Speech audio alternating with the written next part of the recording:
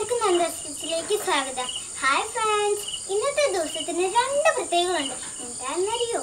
ആ ശിശുദിനവും ദീപാവലിയും എല്ലാ കുട്ടികൾക്കും ശിശുദിനത്തിന്റെയും ദീപാവലിയുടെയും ആശംസകൾ നേരുന്നു.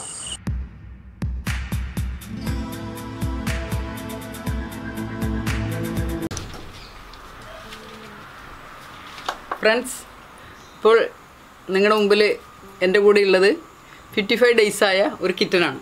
നമ്മുടെ മിറയുടെയും ടോബിയുടെയും കുട്ടികളിൽ ഒരാളാണ് ഇപ്പോൾ എന്റെ കൂടെ ഉള്ളത്. അപ്പോൾ ആൾ വളരെ ഹാപ്പിയാണ് വളരെ ഹെൽത്തിയാണ് വളരെ സ്മാർട്ടാണ്. സാധാരണ രണ്ട് മാസം പ്രായമാകുമ്പോൾ കുഞ്ഞുങ്ങൾക്ക് ഏകദേശം ഏറ്റവും കുറഞ്ഞത് അറുന്നൂറ് ഗ്രാമും ഒരു കിലോയ്ക്കും ഇടയിലുള്ള തൂക്കം ആവശ്യമാണ്.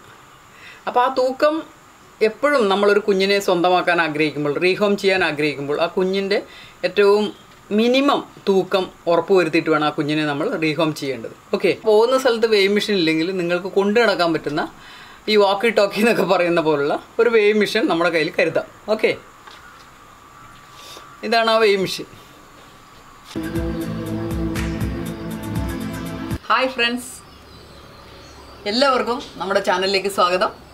ഇന്ന് നമ്മുടെ കുഞ്ഞുങ്ങളുടെ നമ്മുടെ പ്രഷ്യസ് ആയിട്ടുള്ള ഈ കുഞ്ഞു വാവാസിനെ കുറിച്ചാണ് ഇന്ന് നമ്മൾ ഈ കുഞ്ഞുവാവാസ് നമ്മുടെ വീട്ടിലേക്ക് ഇതുപോലുള്ള കുഞ്ഞു വാവാസിനെ നമ്മുടെ വീട്ടിലേക്ക് റീഹോം ചെയ്യുമ്പോൾ നമ്മൾ അറിഞ്ഞിരിക്കേണ്ട ചില വസ്തുതകളുണ്ട്.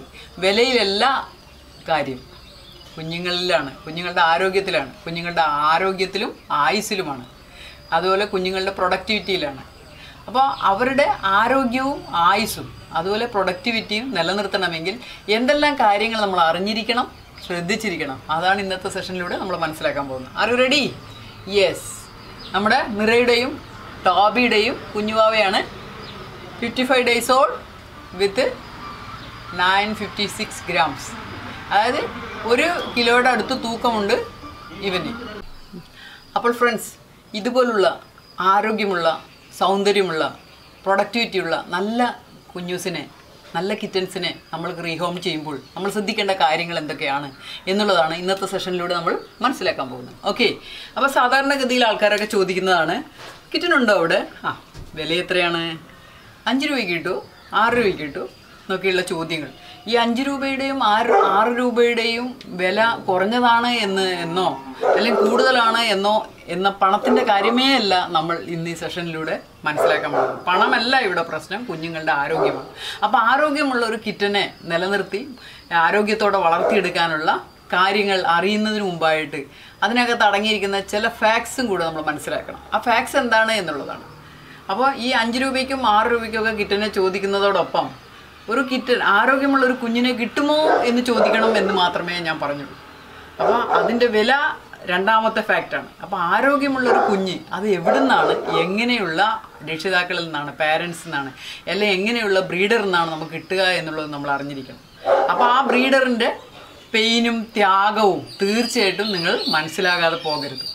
അപ്പോൾ സാധാരണഗതിയിൽ ഇതുപോലുള്ള കുഞ്ഞു കുഞ്ഞു കിടാങ്ങൾ ഇതുപോലുള്ള ഒരു പ്രിൻസസിനെ വളർത്തിയെടുത്ത് നല്ലൊരു ക്യൂനായിട്ടും ഒരു പ്രിൻസിനെ വളർത്തിയെടുത്ത് നല്ലൊരു ടോമായിട്ടും മാറ്റണമെങ്കിൽ നമ്മൾ അറിഞ്ഞിരിക്കേണ്ട ചില വസ്തുതകളുണ്ട്. അത് നമ്മൾ അറിയാതെ പോകരുത്. ഓക്കെ നമ്മൾ നമ്മുടെ കുഞ്ഞുങ്ങളെ റീഹോം ചെയ്യിക്കുമ്പോൾ ശ്രദ്ധിക്കേണ്ടതായിട്ട് ഒട്ടനവധി കാര്യങ്ങളുണ്ട്. അത് ശരിയായ അർത്ഥത്തിൽ നിങ്ങൾ ശ്രദ്ധിച്ചിട്ടില്ലെങ്കിൽ അറിഞ്ഞിട്ടില്ലെങ്കിൽ ഫ്യൂച്ചറിൽ ഉണ്ടാകാൻ സാധ്യതയുള്ള പ്രോബ്ലംസ് അത് ഒരു മൂന്ന് കാറ്റഗറി ആയിട്ട് വേണമെങ്കിൽ നമുക്ക് തിരിക്കാം. ആദ്യമായിട്ടുള്ള പ്രോബ്ലം എന്ന് പറഞ്ഞാൽ ആരോഗ്യ പ്രശ്നങ്ങളാണ്.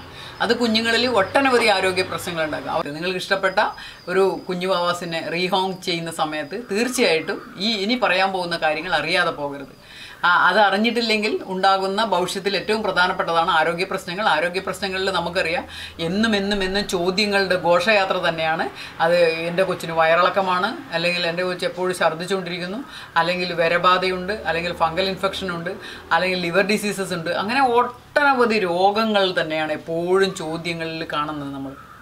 ഇതിന്റെ പ്രധാന കാരണം എന്താണ്? കൃത്യതയുള്ള ഒരു പാരൻസിന്റെ ആരോഗ്യമുള്ള പ്രതിരോധ ശേഷിയുള്ള ഒരു പാരന്റിന്റെ അടുക്കിൽ നിന്ന് അല്ലെ ഒരു പാരന്റിന്റെ കൊച്ചിനെ അല്ലെങ്കിൽ നല്ല രീതിയിൽ കൃത്യമായിട്ടുള്ള ഫുഡിങ്സും അതുപോലെ പ്രതിരോധ ശേഷി നൽകിയും അല്ലെങ്കിൽ ഡിവോം ചെയ്തും അങ്ങനെ ആരോഗ്യ പരിപാലിച്ചും മെയിന്റെയിൻ ചെയ്യാത്ത ഒരു ബ്രീഡറുടെ അടുക്കുന്ന നിങ്ങൾ റീഹോം ചെയ്യിക്കുന്നതുകൊണ്ടാണ് ഇത് സംഭവിക്കുന്നത്. അപ്പോൾ അങ്ങനെ സംഭവിക്കാതിരിക്കണമെങ്കിൽ തീർച്ചയായിട്ടും ഈ റീഹോം ചെയ്യുന്ന എവിടുന്ന് എങ്ങനെയുള്ള കിറ്റൻസിനെ റീഹോം ചെയ്യണം എന്നുള്ളത് നിങ്ങൾ പ്രത്യേകം ശ്രദ്ധിക്കണം. ഇല്ലെങ്കിൽ ഇതുപോലുള്ള ആരോഗ്യ പ്രശ്നങ്ങൾ അതുപോലെ പ്രത്യുൽപാദനപരമായിട്ടുള്ള പ്രശ്നങ്ങൾ. അതായത് കുഞ്ഞു വലുതായി കുഞ്ഞ് ഹീറ്റ് ആവുന്നില്ല ഏഴ് മാസമായി ഹീറ്റ് കാണിക്കുന്നില്ല എട്ട് മാസമായി ഇല്ല ഒമ്പത് മാസമായി ഒന്നര വയസ്സായി പിന്നെ ഇനി ഹീറ്റ് കാണിച്ചു തന്നെ ക്രൂസിങ് നടക്കുന്നില്ല അല്ലെ മെയ്റ്റിങ് നടക്കുന്നില്ല മെയ്റ്റിങ് ആയാൽ തന്നെ കൺസീവ് ആകുന്നില്ല. ഇനി അഥവാ കൺസീവ് ആയാൽ തന്നെ ഗർഭകാലം ആരോഗ്യത്തോടെ പൂർത്തീകരിക്കാനോ പൂർത്തീകരിച്ചെങ്കിൽ തന്നെ നല്ല ആരോഗ്യമുള്ള കുഞ്ഞുങ്ങൾക്ക് ജന്മം നൽകാനോ അവർക്ക് സാധിക്കുന്നില്ല. മാത്രമല്ല ടോംസ് ആണെങ്കിൽ അവർ കൃത്യമായിട്ട് മെയ്റ്റ് ചെയ്യാൻ വേണ്ടി തയ്യാറാകുന്നില്ല. ഇങ്ങനെ ഒട്ടനവധി ഒട്ടനവധി പ്രത്യുൽപാദനപരമായ പ്രശ്നങ്ങളും നമ്മൾ ഫേസ് ചെയ്യേണ്ടതായിട്ട് വരും. അപ്പോൾ അതുകൊണ്ട് സുഹൃത്തുക്കളെ ഈ കാര്യങ്ങളിൽ നിങ്ങൾ അത്യധികം ശ്രദ്ധ കാണിക്കേണ്ടതാണ്. അതുപോലെയുള്ള ഒരു പ്രശ്നമാണ് സോഷ്യലൈസിങ്. നല്ല സോഷ്യലൈസിങ് കാണിക്കുന്നില്ല. ഇതുപോലെ നമ്മുടെ ഡയനയെ പോലെ ഒന്ന് ശേഖിക്കണം എന്ന് തോന്നിയാൽ നമ്മൾക്കൊന്ന് തൊടാനോ തലോടാനോ പറ്റുന്നില്ല. തൊട്ടാൽ ഉടനെ അഗ്രസീവ് ആകുന്നു മാന്തുന്നു കടിക്കുന്നു. അപ്പോൾ ഇതുപോലുള്ള ആ പ്രശ്നങ്ങൾ സോഷ്യലൈസേഷൻ ആന്റി സോഷ്യലായിട്ട് ബിഹേവ് ചെയ്യുന്നു. അപ്പോൾ ഇതൊക്കെ ഉണ്ടാകുന്നതിന്റെ പ്രധാന കാരണം എന്താണ്? നമ്മുടെ കുഞ്ഞുങ്ങൾ നല്ല രീതിയിൽ പരിപാലിക്കപ്പെടുന്നില്ല. നല്ല ഒരു കിറ്റണിൽ ഫുഡ് അവർക്ക് കിട്ടുന്നില്ല. അങ്ങനെയുള്ള കിറ്റൺസിനെ റീഹോം ചെയ്യുമ്പോഴാണ് ഇങ്ങനെയുള്ള ഇഷ്യൂസ് നമ്മൾ ഫേസ് ചെയ്യേണ്ടി വരുന്നത്. അപ്പം അങ്ങനെയുള്ള ഇഷ്യൂസ് ഫേസ് ചെയ്യാതിരിക്കണമെങ്കിൽ തീർച്ചയായിട്ടും നമ്മൾ നമ്മുടെ കുഞ്ഞുങ്ങളെ നല്ല രീതിയിൽ പരിപാലിക്കാൻ വേണ്ടിയിട്ട് തയ്യാറാകണം. അപ്പോൾ പരിപാലനത്തിന്റെ രഹസ്യം എന്താണ് എന്നാണ് നമ്മളിനി മനസ്സിലാക്കാൻ പോകുന്നത്. ഓക്കെ അപ്പോൾ തീർച്ചയായിട്ടും നമ്മളത് മനസ്സിലാക്കിയിട്ടില്ലെങ്കിൽ നമുക്ക് നല്ല എട്ടിന്റെ പണി കിട്ടും. ഇല്ലേ ഉമ്മ ഉമ്മ ഉമ്മ ഉമ്മ ഗുഡ് ഗേൾ ഗുഡ് ഗേൾ. ഉമ്മ ഉമ്മ ഇതുപോലെ ശേഖിക്കാൻ പറ്റണം നമ്മുടെ കുഞ്ഞുവാവാസിനെ ഇതുപോലെ പരിപാലിക്കാനും ഇതുപോലെ താലോലിക്കാനും ഇതുപോലെ സ്വകാര്യം പറയാനും ഒക്കെ പറ്റണം. ഇല്ല ഡൈന ആ അതാണ്. അപ്പം ഇങ്ങനെ നമ്മുടെ ടെൻഷൻസ് റിലീസ് ചെയ്യാൻ അല്ലെങ്കിൽ ടെൻഷൻ ടെൻഷൻസ് മായ്ച്ചു കളയാൻ നമ്മളെ റിലാക്സ് ചെയ്യാൻ വേണ്ടിയിട്ടാണ് ഈ കുറുങ്ങൽ ട്യൂണ് നമ്മളോട് ഉരുമ്മി ഉണർന്ന് നിൽക്കുമ്പോൾ നമുക്കുണ്ടാകുന്ന ആ ഒരു സുഖം ഒരു അനുഭൂതി അത് നമുക്ക് ലഭ്യമാകണമെങ്കിൽ തീർച്ചയായിട്ടും നമ്മുടെ കുഞ്ഞുങ്ങൾ നല്ല അച്ഛനമ്മമാരുടെ കുഞ്ഞുങ്ങളായിരിക്കണം അല്ലെ നല്ല ബ്രീഡറുടെ പരിപാലനം നേടിയ കുഞ്ഞുങ്ങളായിരിക്കണം. അതുകൊണ്ട് എപ്പോഴും ശ്രദ്ധിക്കണം ഈ വിഷയം. അപ്പോൾ അറിഞ്ഞിരിക്കേണ്ട എന്താണ്? നാളെ നിങ്ങൾ ഇന്നൊരു കുഞ്ഞിനെ കൊണ്ടുപോയാൽ നാളെ നിങ്ങളും ഒരു പാരന്റായി മാറുകയാണ്. ഒരു പെറ്റ് പാരന്റായി മാറുകയാണ്. അപ്പോൾ ആ പെറ്റ് പാരന്റിങ്ങിന്റെ ത്യാഗവും സ്നേഹവും അല്ലെങ്കിൽ ആ നോവും നിങ്ങൾ തീർച്ചയായിട്ടും അറിഞ്ഞിരിക്കണം. ക്യൂനായിരിക്കാം പ്രസവവേദന അനുഭവപ്പെടുന്നത് അല്ലെ? അനുഭവിക്കുന്നത്. പക്ഷേ നമുക്ക് അനുഭവിക്കുന്ന ആ ഒരു നോവുണ്ടല്ലോ. ആ നോവ് തീർച്ചയായിട്ടും നമ്മൾ അറിഞ്ഞിരിക്കണം. എങ്കിൽ മാത്രമേ നമുക്ക് നല്ല കുഞ്ഞുങ്ങളെ വളർത്തിയെടുക്കാൻ വേണ്ടി സാധിക്കുള്ളൂ. അപ്പോൾ അതുകൊണ്ട് ആ നോവ് അറിയാതെ ഒരിക്കലും അയ്യായിരം രൂപയ്ക്കും പത്തായിരം രൂപയ്ക്കും ഒന്നും കിറ്റനെ വില ചോദിച്ചിട്ടല്ല നിങ്ങൾ കിറ്റനെ മേടിക്കേണ്ടത്. കിറ്റന്റെ ക്വാളിറ്റി കണ്ടിട്ടായിരിക്കണം. കിറ്റന്റെ ആരോഗ്യപരമായിട്ടുള്ള അവസ്ഥ കണ്ടിട്ടായിരിക്കണം. കിറ്റനുമായിട്ടുള്ള നല്ല പോസിറ്റീവായിട്ടുള്ള ഇൻട്രാക്ഷൻ കണ്ടിട്ടായിരിക്കണം നമ്മൾ കിറ്റൻസിനെ സ്വന്തമാക്കേണ്ടത്.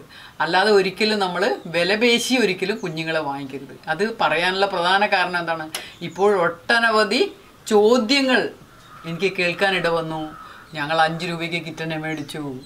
ഇപ്പോൾ കിറ്റന് പല ഭീകരമായ രോഗങ്ങളും ഫേസ് ചെയ്യേണ്ടി വരുന്നു. പാറോ പോലുള്ള ടെസ്റ്റ് ചെയ്തപ്പോൾ അതായത് ഫെലൻ ലൂക്കപ്പിനിയയുടെ ടെസ്റ്റ് ചെയ്തപ്പോൾ പോസിറ്റീവായെന്ന് കണ്ടു.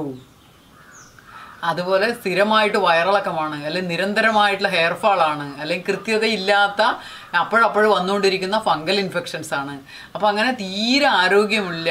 കുഞ്ഞ് രണ്ട് മാസമായിട്ട് മുന്നൂറ് മുന്നൂറ്റമ്പത് ഗ്രാമേ ഉള്ളൂ. തുടങ്ങിയ ഒട്ടനവധി ഒട്ടനവധി വേവലാതികൾ കേൾക്കാനിട വന്നു അപ്പോഴാണ് മനസ്സിലായത് ഇത് ശ്രദ്ധിക്കാത്തത് കൊണ്ട് വിലപേശലിനെ അടിമയായിട്ട് വാങ്ങിച്ച കുഞ്ഞുങ്ങളാണ് ഈ വിക്ടിംസ് ആയിട്ട് മാറുന്നത്. അതുകൊണ്ട് പ്രിയ സുഹൃത്തുക്കളെ നിങ്ങൾ തീർച്ചയായിട്ടും ദ റിയൽ പെറ്റ് ലവർ ആണെങ്കിൽ ഒരിക്കലും വിലപേശിയല്ല മേടിക്കേണ്ടത്. നിങ്ങൾ കൊണ്ടുവരുന്ന കുഞ്ഞിനെ വളർത്തിയെടുത്ത് നല്ല അരുമയാക്കി മാറ്റണം. അതൊരു പെൺകുഞ്ഞാണെങ്കിൽ അത് നല്ലൊരു അമ്മയും ആൺകുഞ്ഞാണെങ്കിൽ നല്ലൊരു അച്ഛനുമായിട്ട് മാറണമെങ്കിൽ തീർച്ചയായിട്ടും അതിന് കുറച്ച് ഫുഡ് ഒരു പാത്രത്തിലിട്ട് ഇങ്ങനെ തള്ളിക്കൊടുത്താൽ മാത്രം പോരാ. നമ്മളവരെ നല്ല രീതിയിൽ പരിപാലിക്കണം. ആ പരിപാലനത്തിനോട് കൂട്ടി വായിക്കേണ്ട കുറച്ച് കാര്യങ്ങളുണ്ട്. അതാണ്. അതായത് ഒരു പെൺകുഞ്ഞാണെങ്കിൽ അതിനെ വളർത്തിക്കൊണ്ടുവന്ന് ആ അഞ്ച് ആറ് ഏഴ് തുടങ്ങിയ മാസങ്ങളിൽ അത് ഹീറ്റായി. ആദ്യത്തെ രണ്ടും മൂന്നും ഹീറ്റ് സ്കിപ്പ് ചെയ്ത് ഒരു വയസ്സാകുമ്പോൾ അതിനെ ക്രോസ് ചെയ്യിച്ച് ഒരു ഒരു വയസ്സും രണ്ട് മാസവും ഒക്കെ ആകുമ്പോഴേ അത് ഒരു അമ്മയാകുന്നു. നല്ല ആരോഗ്യമുള്ള കുഞ്ഞുങ്ങളെ പ്രസവിക്കുന്നു. പ്രസവിച്ച് കഴിഞ്ഞാൽ അത് ഗർഭകാലത്ത് ഗർഭിണിയായിരിക്കുമ്പോൾ നമ്മൾ കൊടുക്കേണ്ട പരിപാലന രീതികളെ കുറിച്ച് ഒരുപാട് വീഡിയോസ് ഉണ്ട്. അത് കണ്ടാൽ നിങ്ങൾക്ക് അറിയാൻ പറ്റും. ഒരു വീഡിയോ ചിലപ്പം പത്തോ ഇരുപത്തഞ്ചോ മിനിറ്റ് ആണെങ്കിലും നമ്മൾ വളരെ ജാഗരൂകരായിട്ട് ശ്രദ്ധിച്ച് അതിനെ പരിപാലിച്ച് കൊണ്ടുവരികയാണ് ചെയ്യുന്നത്. ഇനി പ്രസവിച്ചു കഴിഞ്ഞാൽ പ്രസവ സമയത്താണെങ്കിലും ഉണ്ണാതെ ഉറങ്ങാതെ നമ്മൾ കാത്തിരുന്ന് നമ്മുടെ കുഞ്ഞുങ്ങൾ വന്നു കഴിഞ്ഞ് അവരെ ശ്രദ്ധിച്ച് അവർക്ക് ഹോട്ട് ബാഗ് ഉണ്ടാക്കി അവരെ കെയർ ചെയ്ത് അവർക്ക് പാൽ കൊടുത്ത് മുലപ്പാലില്ലെങ്കിൽ അവർക്ക് K M R kitten milk replacement കൊടുത്ത് അവരെ ചൂടടിത്ത് തണുപ്പടിക്കാതെ നല്ല ചൂടിൽ വാമായിട്ട് സൂക്ഷിച്ച് വളർത്തിക്കൊണ്ടുവന്ന് പതിനഞ്ച് ദിവസം കഴിയുമ്പോൾ അവർക്ക് ഡിവോം സ്റ്റാർട്ട് ചെയ്യുന്നു. പിന്നീട് അവർക്ക് മറ്റു ഫുഡുകൾ പരിചയപ്പെടുത്തുന്നു.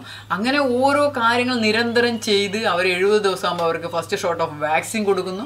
അങ്ങനെ അവർക്ക് അമ്മയുടെ ഇമ്മ്യൂണിറ്റിയിൽ നിന്ന് വീണ്ടും റീചാർജ് ചെയ്ത് വാക്സിനേഷൻ കൊടുത്ത് വീണ്ടും അങ്ങനെ വളർത്തി കൊണ്ടുവന്ന കുഞ്ഞുങ്ങളാണ് നിങ്ങളുടെ കയ്യിലിരിക്കുന്ന ഈ അഞ്ച് രൂപയോ പത്ത് രൂപയോ വില പേശി മേടിച്ച കുഞ്ഞുങ്ങൾ.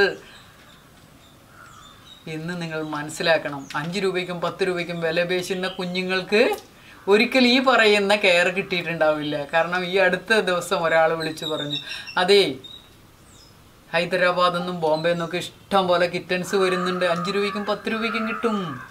വാക്സിനേഷൻ എടുത്താലോ എടുത്തില്ലെങ്കിൽ കാർഡ് തരുന്നു അവർ പറഞ്ഞിട്ടുണ്ട് അപ്പോൾ വാക്സിനേഷൻ കടലാസിൽ തരുന്നതായിരിക്കും. കുഞ്ഞുങ്ങൾക്ക് കിട്ടില്ല കേട്ടോ. അപ്പോൾ ഇങ്ങനെയുള്ള കിറ്റൻസിനെ മേടിച്ചു കഴിഞ്ഞാൽ തീർച്ചയായിട്ടും വാക്സിൻ കൊണ്ട് മാത്രം പ്രതിരോധിക്കാൻ പറ്റുന്ന രോഗങ്ങളുണ്ട്. ചികിത്സ ഇല്ലാത്ത പാർവ പോലത്തെ രോഗങ്ങൾ. അങ്ങനെയുള്ള വൈറസുകൾ നമ്മുടെ കുഞ്ഞിന് വന്നാൽ നമ്മൾ എന്ത് ചെയ്യും? നമ്മൾ നിസ്സഹായരായി പോകും. കാരണം അവർക്ക് വന്നതുകൊണ്ട് അവർക്ക് മാത്രമായിട്ട് രോഗമാണ് ഒതുങ്ങുന്നില്ല. അത് നമ്മുടെ വീട്ടിലുള്ള മറ്റ് കാറ്റ്സിലേക്കും അത് പകർന്നേക്കാം. അല്ലെങ്കിൽ തീർച്ചയായിട്ടും പകരും. അപ്പോൾ അങ്ങനെ അവരുടെ ജീവൻ പോലും നഷ്ടമാകുന്ന സാഹചര്യങ്ങളുണ്ടാവും. അതുകൊണ്ട് ഒരു കാരണവശാലും നിങ്ങൾ കടലാസിൽ മാത്രം വാക്സിനേഷൻ എടുക്കുന്ന കുഞ്ഞുങ്ങളെ വാങ്ങിക്കരുത്. അതുകൊണ്ട് കൃത്യമായിട്ട് അറിയണം. ഒരു വിവാഹാലോചന നടത്തുമ്പോൾ നമ്മുടെ ഒരു കുടുംബം വേറൊരു കുടുംബമായിട്ട് ഒരു ബന്ധം സ്ഥാപിക്കുമ്പോൾ എന്തെല്ലാം കാര്യങ്ങൾ നമ്മൾ അറിയുന്നു? അതുപോലെ നമ്മുടെ ഒരു കുഞ്ഞിനെ കൊണ്ടുവരുമ്പോൾ അതിന്റെ പാരൻസിനെ കുറിച്ച് നിങ്ങൾ അറിഞ്ഞിരിക്കണം. ഏറ്റവും പ്രധാനമായിട്ട് പറയാനുള്ള ഒരിക്കലും നിങ്ങൾ ഓൺലൈനിൽ വാട്സപ്പ് വീഡിയോസൊക്കെ കണ്ട് ഫോട്ടോഷോപ്പിലുള്ള പിക്ചേഴ്സൊക്കെ കണ്ടിട്ട് അച്ഛൻ ഇതാണ് അമ്മ ഇതാണ് കുഞ്ഞുങ്ങൾ ഇതാണ് എന്ന് പറഞ്ഞ അച്ഛന്റെയും അമ്മയുടെയും രണ്ട് ഫോട്ടോയും കുഞ്ഞു നടുക്ക് നിന്നൊരു ഫോട്ടോയും എടുത്ത് കണ്ടിട്ട് സന്തോഷമായി. എന്റെ കുഞ്ഞിന്റെ അച്ഛൻ എന്താണ്? അച്ഛൻ നല്ല ഹെൽത്തിയാണ് ചാമ്പ്യനാണ് അമ്മ നല്ല അടിപൊളി ഫിഗറാണ് കുഞ്ഞ് സൂപ്പറാണ്. പക്ഷെ കുഞ്ഞ് വീട്ടിലെത്തുമ്പോഴേക്കും ചിലപ്പോൾ ശവമായിട്ടായിരിക്കാം. അല്ലെങ്കിൽ രണ്ടോ മൂന്നോ ദിവസം കഴിയുമ്പോൾ അവർ യമപുരിക്ക് പോകുന്ന രീതിയിലായിരിക്കാം കുഞ്ഞുങ്ങൾ എത്തുന്നത് അതുകൊണ്ട് അങ്ങനെയുള്ള ചില നീചന്മാരായിട്ടുള്ള ആൾക്കാരുണ്ട്. അവർക്ക് എന്ത് പേരിട്ട് വിളിക്കണം എന്ന് എനിക്കറിയില്ല. എന്റെ ഒരുപാട് സുഹൃത്തുക്കൾ വളരെ ദയനീയമായിട്ട് സങ്കടത്തോടെ പറഞ്ഞു കേട്ടിട്ടുണ്ട്. ഇതുപോലെ ഓൺലൈനായിട്ട് വാട്സപ്പിലൂടെയൊക്കെ ഫോട്ടോസ് അയച്ചു കൊടുത്തിട്ട് വാങ്ങിച്ച് കിട്ടിയ നല്ല പണി എട്ടിന്റെയും പത്തിന്റെയും പണി കിട്ടിയ ആൾക്കാരുണ്ട്. അതുപോലൊരു ഗ്രൂപ്പിന്റെ വിക്റ്റിം ആകരുത് നിങ്ങൾ. അതിനേക്കാളേറെ നമ്മുടെ മിണ്ടാപ്രാണികളെ ഇങ്ങനെ കൊല ചെയ്യുന്ന കിരാതന്മാരുടെ അടുത്ത് നിങ്ങൾ കുഞ്ഞുങ്ങളെ വാങ്ങിക്കരുത്. നല്ല സ്നേഹത്തോടെ പരിപാലിക്കുന്ന ഒട്ടനവധി എണ്ണിയാൽ ഒടുങ്ങാത്തത്ര ബ്രീഡേഴ്സ് നമ്മുടെ നാട്ടിലുണ്ട്. പെറ്റ് സ്നേഹികളായിട്ടുള്ള അരുമകളെ സ്നേഹിക്കുന്ന കെയർ ചെയ്യുന്ന ഇഷ്ടം പോലെ ബ്രീഡേഴ്സ് ഉണ്ട്. അപ്പോൾ അങ്ങനെ വളരെ പ്രശസ്തരായ ഇഷ്ടം പോലെ നമ്മുടെ ലിസി കാറ്റ്സ് പിന്നെ അങ്ങനെ ഒട്ടനവധി ഒട്ടനവധി ബ്രീഡർമാരെ നമുക്കറിയാം. അതുപോലുള്ള ആൾക്കാരുടെ അടുത്ത് നിന്ന് നിങ്ങൾ പെറ്റ്സിനെ സ്വീകരിക്കണം. അപ്പോഴാണ് ആ കുഞ്ഞുങ്ങളെ നമ്മൾക്കും ധൈര്യത്തോടു കൂടെയും ആത്മവിശ്വാസത്തോടു കൂടെയും റേസ് ചെയ്യാൻ വേണ്ടി പറ്റുക. എങ്കിൽ മാത്രമേ കുഞ്ഞുങ്ങളെ വളർത്തിക്കൊണ്ടുവന്ന് നമ്മൾ ആഗ്രഹിച്ച പോലെ അവരുടെ കുഞ്ഞുങ്ങളെ കാണാനും പരിപാല പരിപാലിക്കാനും നമുക്ക് സാധിക്കുകയുള്ളൂ. അതുകൊണ്ട് ഫ്രണ്ട്സ് നിങ്ങൾ ഒരിക്കലും ഇതേപോലുള്ള കിരാതന്മാരുടെ വലയിൽ വീഴരുത്. ഓൺലൈനിൽ വാട്സപ്പ് ഗ്രൂപ്പുകളിൽ ഒരുപാട് ഗ്രൂപ്പുകൾ കാറ്റിനെ വേണ്ടിയിട്ട് അല്ല ഡോഗ്സിന് വേണ്ടി ഗ്രൂപ്പുകൾ ഇപ്പോൾ ഉണ്ട്. ആ ഗ്രൂപ്പുകളിലൊക്കെ ചില ആൾക്കാർ ഫ്രോഡായിട്ട് ഇന്നൊരു കാറ്റ് ഒരാൾ ഇട്ട് കഴിഞ്ഞാൽ അതേ കാറ്റിനെ തന്നെ വേറൊരാൾ നാളെ ഇടുന്നു. അല്ലെങ്കിൽ വിത്തിൻ മിനിറ്റ്സിനകം ഒരു കാറ്റിന് തന്നെ ഒരുപാട് ഓണേഴ്സ് ഒരാൾ പത്ത് രൂപയ്ക്ക് കൊടുക്കും ഒരാൾ പതിനഞ്ച് രൂപയ്ക്ക് കൊടുക്കും ഒരാൾക്ക് എട്ട് രൂപയ്ക്ക് കൊടുക്കും. അപ്പോൾ വാങ്ങിക്കുന്ന ആൾ ആ എന്നാൽ എട്ട് രൂപയ്ക്ക് മേടിക്കും. ഇത് ആരുടെ കയറ്റാണ്? എവിടുന്ന് പൊക്കിയതാണെന്നോ? എവിടുന്ന് അടിച്ചുകൊണ്ട് വന്നാണെന്നോ? ഒന്നും നമുക്കറിയില്ല. അതിന് വാക്സിനേഷൻ കൊടുത്താണോ? അതിന്റെ കൃത്യമായിട്ടുള്ള അതിന്റെ അച്ഛനും അമ്മ ആരാണ്? അതിന്റെ ബ്രീഡർ ആരാണ്? ഒന്നും നമ്മൾക്കറിയില്ല. ഇങ്ങനെ അനാഥമായിട്ട് എവിടുന്നൊക്കെ അടിച്ചുകൊണ്ട് പോയ കാറ്റ്സിനെ മേടിച്ചുകൊണ്ട് വരുമ്പോൾ ആ കാറ്റ്സ് നമുക്ക് സന്തോഷത്തിന് വേണ്ടിയാണ് അരുമകളെ നമ്മൾ വാങ്ങിക്കുന്നത്. പക്ഷേ അവർ രോഗങ്ങളെയും കൊണ്ടാണ് നമ്മുടെ വീട്ടിലേക്ക് വരിക ചിലപ്പോൾ. അതുകൊണ്ട് തീർച്ചയായിട്ടും അങ്ങനെയുള്ള മാൽ പ്രാക്ടീസ് നിങ്ങൾ ഒരു കാരണവശാലും പ്രൊമോട്ട് ചെയ്യാൻ വേണ്ടി പാടില്ല. അങ്ങനെ പ്രൊമോട്ട് ചെയ്ത് കഴി ചെയ്യുന്നത് കൊണ്ടാണ് ഇന്ന് ആൾക്കാർ അഞ്ച് രൂപയ്ക്കും പത്ത് രൂപയ്ക്കും ക്യാറ്റ്സിനെ ചോദിക്കുന്നത്. അപ്പോൾ അങ്ങനെയുള്ള ഒരു മാൽ പ്രാക്ടീസ് നമുക്ക് വേണ്ട നമ്മൾ ആരോഗ്യമുള്ള കുഞ്ഞുങ്ങൾ അപ്പോൾ നമ്മൾ തീർച്ചയായിട്ടും നമ്മളുടെ കുഞ്ഞുങ്ങൾ മനുഷ്യരുടെ മനുഷ്യർ നമ്മൾ ഹ്യൂമൻസ് ഒരു കുഞ്ഞിനെ അഡോപ്റ്റ് ചെയ്യുന്നുണ്ടെങ്കിൽ എന്തെല്ലാം കാര്യങ്ങൾ ശ്രദ്ധിക്കണം? ആ അതേപോലെ തന്നെ ആയിരിക്കണം നമ്മൾ നമ്മുടെ അരുമകളെയും അഡോപ്റ്റ് ചെയ്യുമ്പോൾ അവരെ നല്ല ആരോഗ്യമുള്ള പാരൻസിന്റെ കുഞ്ഞുങ്ങളായിരിക്കണം. നല്ല പാമ്പർ ചെയ്യുന്ന നല്ല ഹെൽത്തി ആയിട്ട് പാമ്പർ ചെയ്യുന്ന പാര ഐ മീൻ ബ്രീഡറുടെ കുഞ്ഞുങ്ങളായിരിക്കണം. ഈ കാര്യങ്ങളിൽ യാതൊരു വീഴ്ചയും വരാൻ വേണ്ടി പാടില്ല. അപ്പോൾ ഇന്ന് ശിശുദിനമാണ് നവംബർ പതിനാല്. അപ്പോൾ കുഞ്ഞുങ്ങളുടെ ദിവസമാണ്. അപ്പോൾ നമ്മുടെ കുഞ്ഞുങ്ങളും നമ്മുടെ ഈ ഫെലൈൻ കുഞ്ഞുങ്ങളും നമ്മുടെ സന്തോഷത്തിന്റെ ഈ രോമ കുഞ്ഞുങ്ങൾ തീർച്ചയായിട്ടും നമ്മുടെ വീട്ടിലേക്ക് സന്തോഷം കൊണ്ട് തന്നെ ആയിരിക്കണം വരണം. ഒരിക്കലും വിഷമം നമ്മൾ അനുഭവിക്കാൻ ഇട വരരുത്. അവരെ ആരോഗ്യത്തോടെ പരിപാലിക്കാനും നമുക്ക് സാധിക്കണം.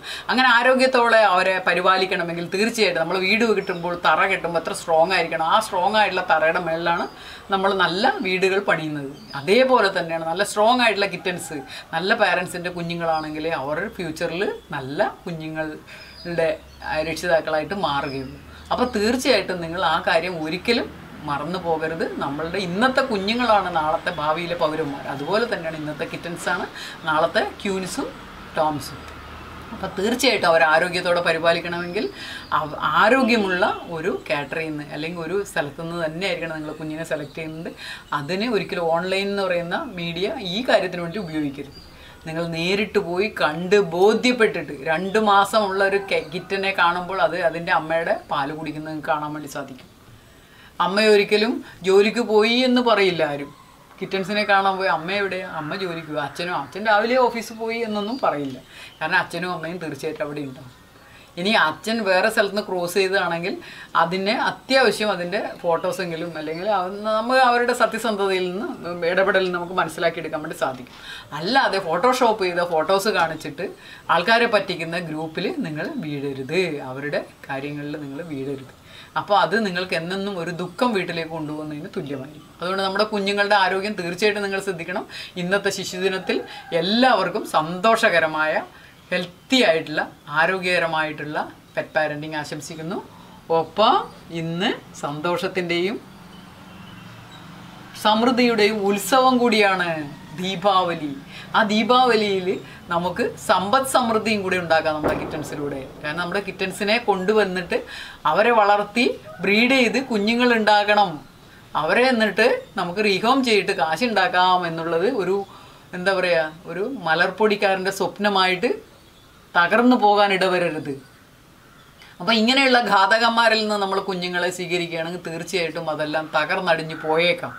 അപ്പോൾ തീർച്ചയായിട്ടും ഈ ദീപാവലി ഒരു നല്ല തുടക്കമാകട്ടെ. നല്ല ഒരു ശീലത്തിന്റെ തുടക്കം. നല്ല ആരോഗ്യമുള്ള കുഞ്ഞുങ്ങളെ അഡോപ്റ്റ് ചെയ്യാനും വളർത്തിയെടുക്കുവാനുമുള്ള വേദന അറിയുവാനും അത് അനുഭവിച്ച് കുഞ്ഞുങ്ങളെ വളർത്തിയെടുക്കാനുള്ള നല്ലൊരു തുടക്കത്തിന്റെ ഒരു പുതു തുടക്കം തന്നെയാണ് ദീപാവലി. എല്ലാവർക്കും happy happy happy Deepavali. Happiness always and us. Channel subscribe ചെയ്യാൻ മറക്കല്ലേ? Bye bye